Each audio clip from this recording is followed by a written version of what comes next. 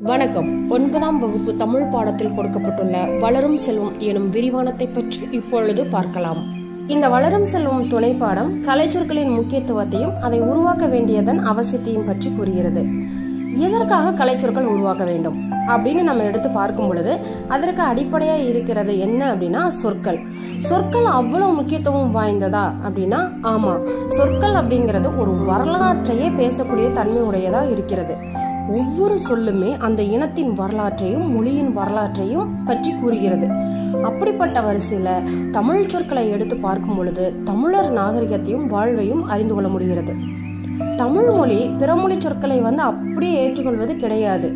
அதை அதற்கான கலை சொற்களை கண்டறிந்துதான் பயன்படுத்துகிறது. சரி இப்போ கலை சொற்களை நாம் உருவாக்கவில்லை அப்படின்னா என்ன நடக்கும் அப்படின்னு நம்ம பார்க்கலாமா?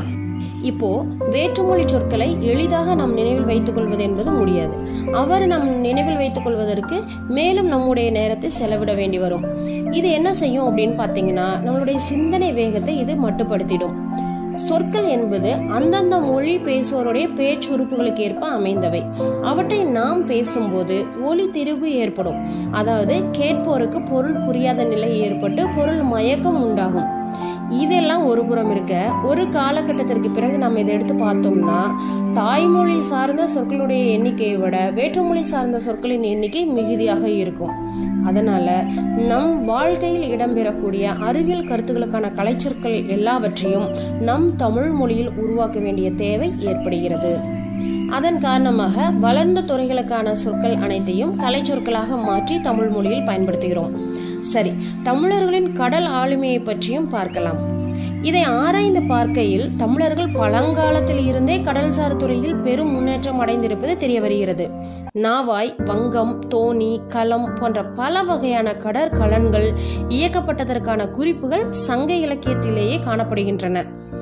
தமிழரின் கடல் ஆளுமை சார்ந்த சொற்கள் ஆங்கில மொழியிலும் கிரேக்க மொழியிலும் காணப்படுகின்றன. உதாரணமாக நாம் கூறும் நாவா எனும் சொல்லை ஆங்கிலத்தில் நேவி என்றும் கிரேக்கத்தில் நாயு என்றும் குறிப்பிடுகின்றனர். இப்படி பல வகையான தமிழ் சொற்கள் வேற்று மொழிகளில் இடம்பெற்றுள்ளன.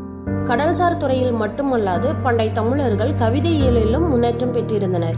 கவிதை சார்ந்த சொற்களை தமிழிலும் கிரேக்க மொழியிலும் ஒப்பாக காண முடிகிறது.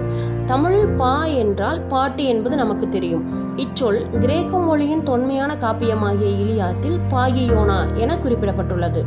தமிழில் உள்ள நான்கு வகை பாக்களுள் ஒன்று வெண்பா. இதனுடைய ஓசை செப்புலோசை என்பது நமக்கு தெரியும்.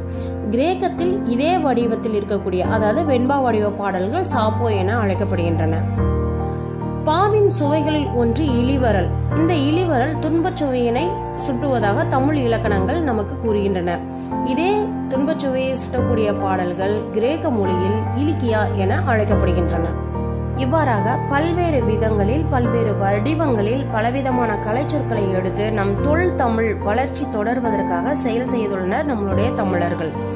இப்போ தமிழ் மொழி நிலைத்திருக்க நாம் என்ன செய்ய வேண்டும் என்பதை பற்றி பார்க்கலாம். வளர்ந்து வரும் அறிவியல் துறை கலைச்சொற்கள் அனைத்தையும் உடனுக்குடன் தமிழ் மொழியில் மொழிபெயர்க்க வேண்டும்.